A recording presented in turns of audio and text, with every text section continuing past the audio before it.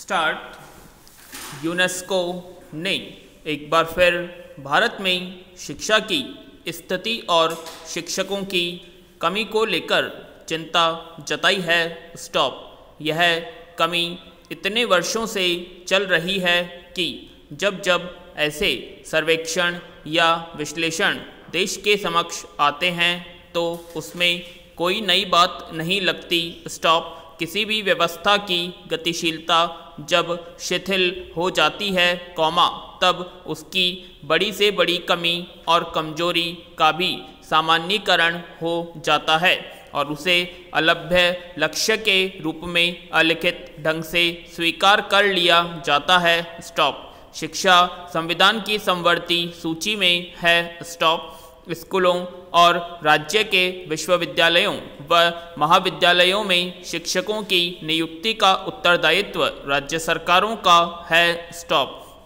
केंद्र सरकार या उसके द्वारा स्थापित केंद्रीय नियामक संस्थाएँ केवल आवश्यक दिशा निर्देश दे सकती हैं, कौमा, पर उन पर अमल करना संघीय व्यवस्था में राज्य का अधिकार है, कौमा। केंद्र इसमें हस्तक्षेप नहीं कर सकता। Stop para.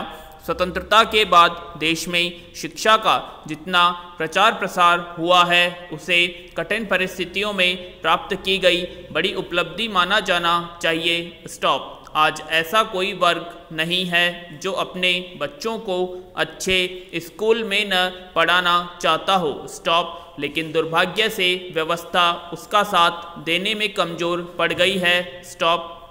व्यवस्था की संवेदनहीनता का सबसे बड़ा दुष्परिणाम सरकारी स्कूलों की घटती साख है, स्टॉप। यह देश की बौद्धिक संपदा की वृद्धि में बड़ा रोड़ा है, स्टॉप। 21वीं सदी में कोई भी सभ्य और सतर्क देश अपने 50 प्रतिशत से अधिक बच्चों को व्यक्तित्व विकास के अवसरों से वंचित रखकर प्रगति नहीं कर सकता है, स्टॉप। जिन स्कूलों में छात्र, शिक्षक, अनुपात उचित नहीं होगा, कौमा, वहाँ से बच्चे केवल प्रमाण पत्र ही प्राप्त करते हैं और आवश्यक ज्ञान, कौमा, कौशल तथा व्यक्तित्व विकास से वंचित रह जाते हैं। स्टॉप। एक लाख स्कूलों में केवल एक शिक्षक और ग्यारह लाख शिक्षकों के पदों रिक्त होना देश में ही नहीं, कौमा। अंतर्राष्ट्रीय स्तर पर भी शर्मनाक माना जाना चाहिए। स्टॉप भारत आज इतना संसाधन विहीन देश तो नहीं है कि वह बच्चों के लिए शिक्षा की समुचित व्यवस्था न कर सके। Stop para. शिक्षकों की कमी की समस्या की जड़ें काफ़ी गहरी हैं। स्टॉप इसके लिए कौन और कितना जिम्मेवार है, कौमा, यह कोई छिपा तथ्य नहीं है। स्टॉप इलाहाबाद उच्च न्यायालय ने 19 अगस्त, कौमा 2015 को एक आदेश में कहा था कि उत्तर प्रदेश के मुख्य सचिव अगले छः महीने में योजना तैयार करें कि कैसे सरकारी खजाने से वेतन लेने वाले हर व्यक्ति के बच्चे केवल सरकारी स्कूलों में पढ़ेंगे। स्टॉप। सभी जानते थे कि ऐसा होगा नहीं, कौमा, क्योंकि एकजुट होकर संभ्रांत और सरकारी व्यवस्था इसी होने नहीं देगी स्टॉप और ऐसा ही हुआ स्टॉप यही वर्ग सरकारी स्कूलों की मौजूदा स्थिति, कौमा, साख की कमी और सामान्य जन के अविश्वास के लिए पूरी तरह उत्तरदायी है स्टॉप जब संभ्रांत वर्ग के बच्चों के लिए निजी स्कूल उपलब्ध हैं और वहाँ पढ़ाने के लिए शिक्षा भत्तों के प्रावधान उपलब्ध हैं, कौमा तो फिर यह वर्ग सरकारी स्कूलों की फ़िक्र क्यों करेगा? Stop, para. नई शिक्षा नीति 2020 के क्रियान्वयन के समय इस सच्चाई को स्वीकार करना सभी के और देश के हित में होगा। स्टॉप।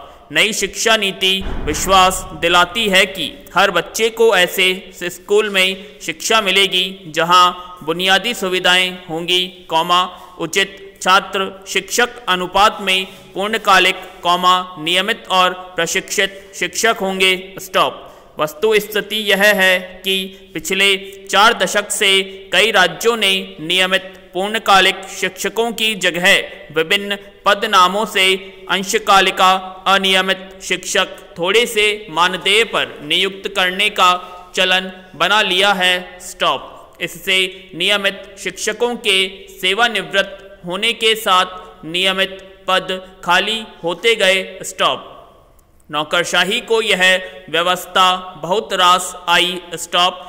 जब कोई देश शिक्षा जैसे महत्वपूर्ण और संवेदनशील विषय पर फैसले केवल नौकरशाहों पर छोड़ देता है, तब ऐसी घातक परिस्थितियाँ पैदा होती हैं। स्टॉप। देश में धीरे धीरे शैक्षिक और अकादमिक नेतृत्व के स्थान पर सिविल सेवा के अधिकारी, स्कूल, बोर्ड, कौमा पाठ्यपुस्तक, बोर्डों, कौमा, राष्ट्रीय शैक्षिक अनुसंधान और प्रशिक्षण परिषद एनसीईआरटी जैसी संस्थाओं में शीर्ष पदों पर सुशोभित होने लगे स्टॉप। यह क्यों होता गया कौमा? इसे जानना बहुत ज़रूरी है। स्टॉप।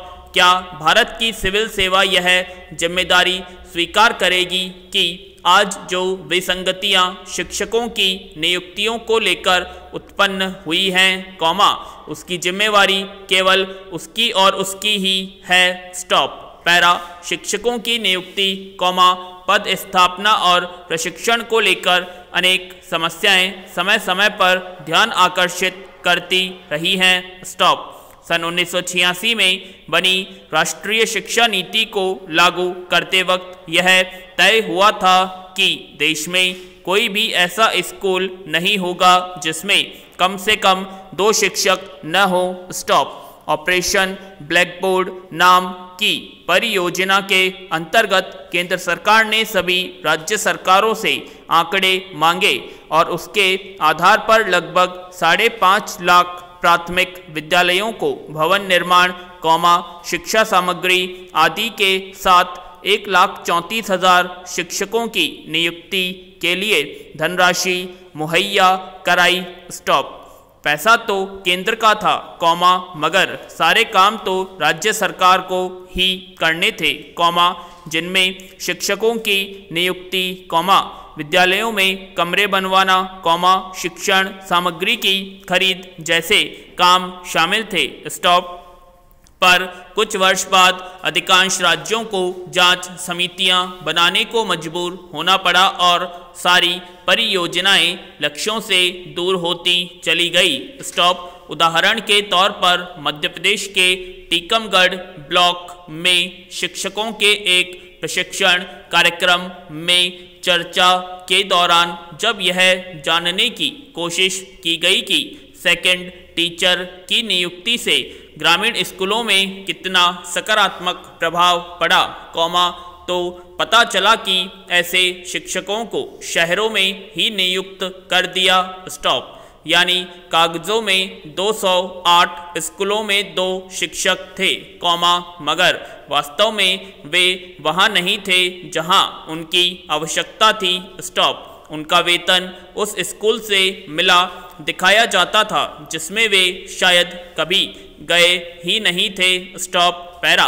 आज संचार तकनीक ने पर्यवेक्षण में अनेक सार्थक सुधार कर दिए हैं।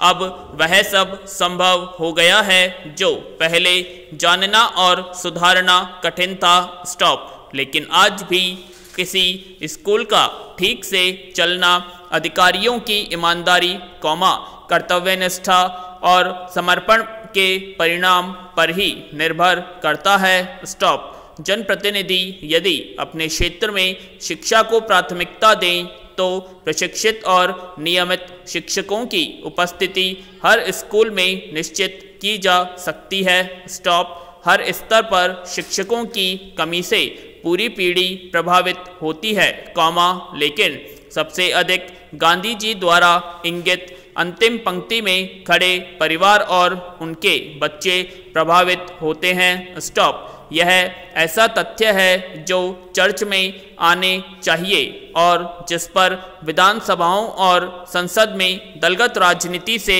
ऊपर उठकर बहस होनी चाहिए। स्टॉप यह ऐसी कमी है जो सामाजिक सुधार में देरी लाती है और सामाजिक सद्भाव बढ़ाने के लिए किए जा रहे प्रयासों की गति को कुंद कर देती है। स्टॉप। इससे समानता के अवसर प्रदान करने के संवैधानिक आश्वासन का उल्लंघन होता है, कौमा, जो यह इंगित करता है कि हम स्वतंत्रता सेनानियों और संविधान निर्माताओं को वह सम्मान नहीं दे पा रहे हैं, जिसके वे हकदार हैं। स्टॉप।